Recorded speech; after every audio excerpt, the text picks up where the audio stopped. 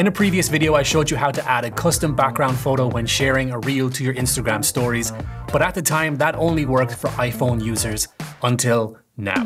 This is a new Instagram hack that I came up with specifically for Android users, including myself, but in reality, this hack will also work for iPhone users too. It's going to involve a little bit of Photoshop, nothing crazy. I'm going to walk you through it step by step. If you don't have Photoshop, I'm going to leave three free templates in the description box below. You're welcome. Now let's jump into the Photoshop tutorial. In Photoshop, we're going to start a new file and we're going to make the width 1080 by 1920. Hit create.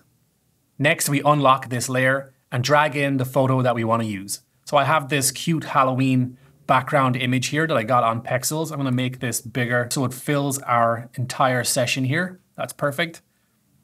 Next, we're going to want to rasterize this layer. So I'm going to double click on this layer over here and scroll all the way down to rasterize layer. Click on that. Next, we want to start a new session with the same parameters as the first one that we set up.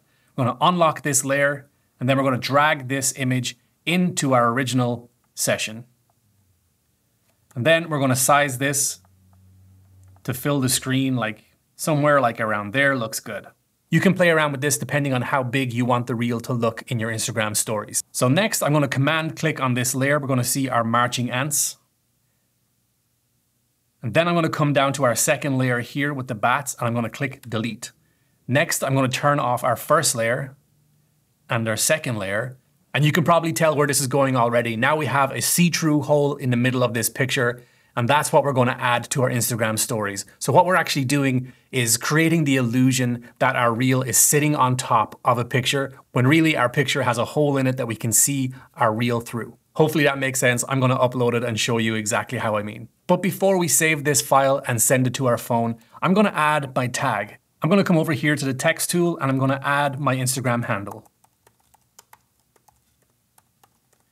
And what I want to do is drag this down here. So when we share this in our stories, my tag is actually going to appear on top of the reel. Something like that looks good. And now I'm going to save this to my desktop and send it to my Android or iPhone device. And don't forget, this is a really important step. We want to save this image as a PNG. And now I can drop this to my phone. So here on my phone, the PNG image is gonna look like this. It's gonna look like it has a black background, but trust me, this is actually transparent. Next, you wanna go to actually share a reel to your stories. And I have this old reel of my dog Charlie at the beach that I wanna share. So I'm gonna click share, add reel to story.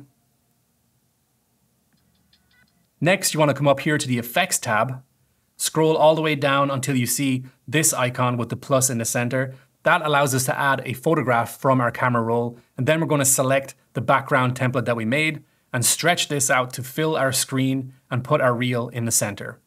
And just like that, we have added a photo to our background when sharing a reel to stories. My goodness, this stuff does not need to be as complicated as it is, but here we are. Instagram, please fix this. So there you go. Hopefully some of you found this quick tutorial helpful. If you have any problems, let me know in the comment section below and I'll try and help you guys out. Remember, there are three free templates in the description box below.